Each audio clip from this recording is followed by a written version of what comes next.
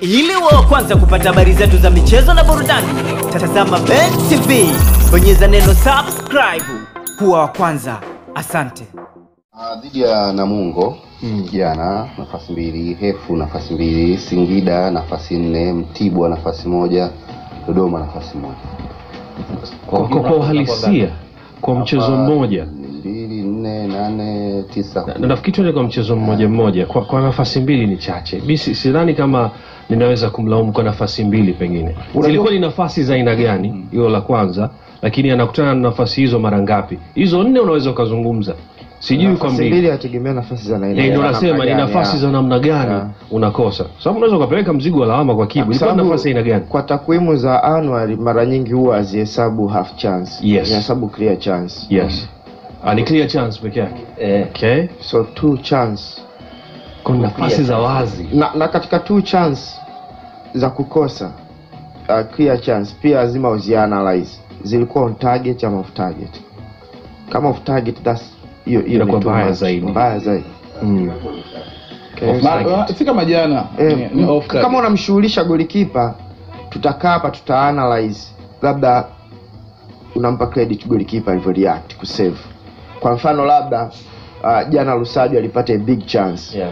ule utaianalyze chance alipata clear. Then unasema aishi yeah. kama anasimama golini yeah. mpira ule wavuni yeah. lakini alitoka akajitanua yeah. kwa sababu hata ule mpira hujamgonga mk- mkononi umemgonga sasa nafikiri kifuani sijui eh kwao amejitanua akafanya goli liwe dogo zaidi yeye katanuka kuwa mkubwa kwa utahesabu Lusajo alipata big chance kaikosa Yeah. and then utaanalyze Aishi Manula a big save kwa hiyo yani kama unapata two chance ambazo ni clear hizo haitoshi peke yake kukulaumu. And then tunakuja zilikuwa on target?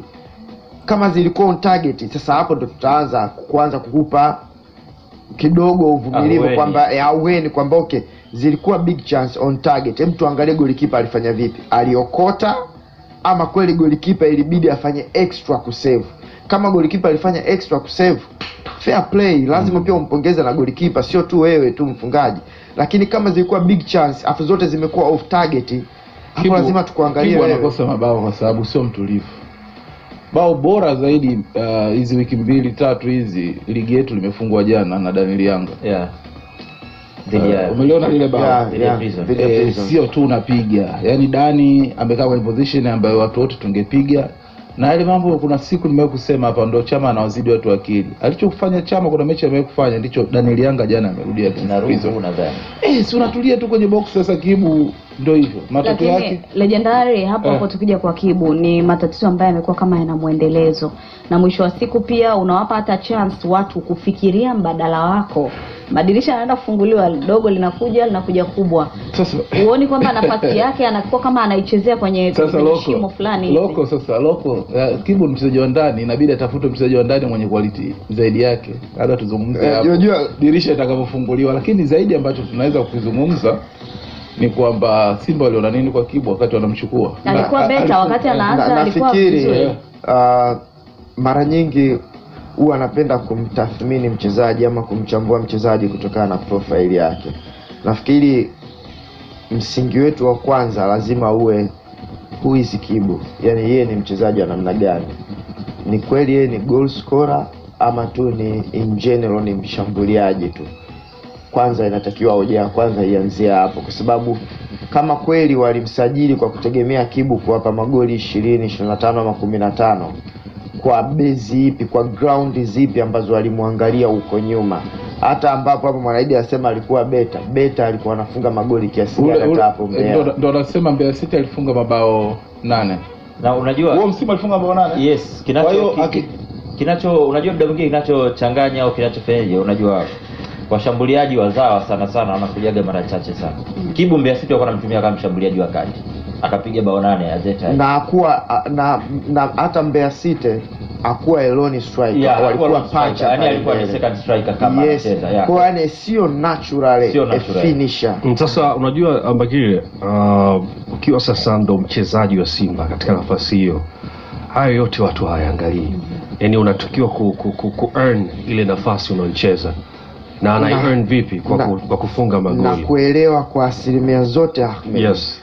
mi mwenyewe hapa nikisema nivae viatu vya mshabiki nitakuwa nataka kumwona sitoelewa we ni mchezaji wa namna gani Mm. nitakuanalyze nafasi unazozipata unazikosa yani yani shabiki wa Simba akae kuanza kuanalyze Ah, huyu ni mchezaji wa aina gani. Mimi ninachosema hapa- Simba ni Kwa uh, Kibu ni mchezaji wa kwa Simba kwa nafasi nafasi kwa ile. hichi mimi ninacho- ninachotaka kukisema hapa ni mm. kwamba wanaotakiwa pia kumsaidia ni benchi la ufundi Kocha amesema atamsaidia. yes kwamba kibu ni aina gani ya mchezaji.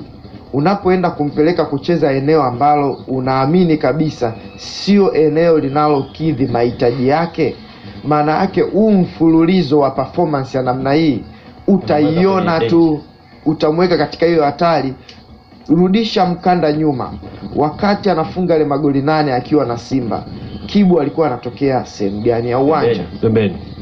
Na Simba walikuwa wanacheza game ya namna gani. Mara nyingi ulikuwa ukimwona kwamba labda Simba wanacheza kwenye counter, ana space ya kutosha ya kurani na kwenda kushambulia.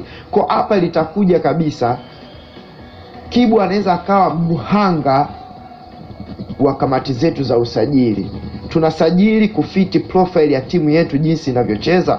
Kwa kuna Kibu ambaye performance yake hapa ambayo watu wengi saizi wanakuwa wanamsema, and then wakati tuna watu wanabaki kwa Kibu, hebu rejea, nani yuko responsible kwa kufanya usajili kulingana na profile ya timu yenyewe? Kama Simba kwa msimu mzima kwa asilimia themanini watakutana na timu zinazopaki basi kwa nini unaenda kusajili mchezaji ambaye nguvu yake kubwa nguvu yake kubwa ni space ya kutosha nyuma ya safu ya ulinzi ya timu pinzani je. Yuko qualified kucheza kwenye tight space na, ku, na, na kuwa na kuwa productive. Kama hayuko qualified hivyo kwa nini unaje na of course huwezi ukawa na wachezaji wote ambao wako hivyo. Kuna muda watakiwa umix kwamba kuna wengine ambao iko siku tutacheza kwenye counter attack na nahitaji aina hiyo ya wachezaji. Iko siku tutakutana na timu inaopaki basi na nahitaji. Then kama unakutana na timu inaopaki basi kwa nini unalazimisha mchezaji mwenye profile anayehitaji space ya kutosha Mm. maanake hauna wachezaji wengine wa kucheza Unajua- maeneo mtu- ashapiga bao nane Mbeya, unaambiwa Engineer Hersi anamtaka Ah, Lakini sio sio sio Mbeya tu. Na- Mbeya no. tu na baada ya kufika pia msimu uliopita sio alikuwa top Eh, top striker. yaani Eh, kwanza akafunga hatuna hatuna habari ya profile ya, ya, ya timu kwamba timu yetu sisi inacheza vipi. Wewe mchezaji mzuri, sisi tunakutaka, unakuja kwenye timu yetu. Mambo ya, ya, ya Europe like huyu uh, mchezaji wa kibarcelona huyu ni mchezaji wa kimanchester zaidi, hapa sisi hatuna. As long as Kibu tunamwona hatari akiwa na Mbeya City, anastahili kucheza Kwa hatari ule ule. eh, anastahili kucheza kwetu, kwamba sisi tunachezaje, yeye anachezaje. Yani ni mara chache sana uh, watu wa Yanga watajali hilo. Yaani unaambia kuna mchezaji katupia sijui goli kumi na sita alafu Simba tena wanamtaka na huyo mtoto anasemekana baba yake shabiki wa Yanga tena ndo kabisa unaanza kusema sijui sisi tunachezaje, inakuwaje, tunachezaje? Hapana, hapana, hapana. Yaani hiyo Eh, hiyo ndoa na legendary. Kibu unapomsajili unajua atadabo kwamba Eh. timu ndogo afunga nane, akija kwetu je atafunga kumi na sita. Nashukuru sana kwa hiyo reset button umeigusa. Eh. Umeturejesha kwenye hali yetu. Yaani, yetu. Ndio halisia. eh, tulikuwa na, na uhalisia wetu pia hizi lawama pia pande zote mbili wazibebe. Eh. e, pande zote mbili tu wabebe. Yaani kuna muda hapo wachezaji wanasajiliwa mashabiki unakuta wanasema "Ah, sasa yule mchezaji gani? Afu mchezaji analaumiwa analaumiwa. Afu hapo hapo wanasema sasa huyu mchezaji gani afu baadaye wanamlaumu mchezaji afu wana, wananyuti yani hawapeleki pia lawama upande mwingine. Yes, nafikiri watu pia wanaofanya usajili pia waju, wa, wa, wa, na ndio maana nikasema hapa na ilikuwa lengo la kuanzisha mjadala ni, ni kuangalia huu mzigo anaobebeshwa Kibu anaustahili. Unaweza kukuta nikwambie mchezaji mchezaji astahili hizi yeah. Eh. lawama.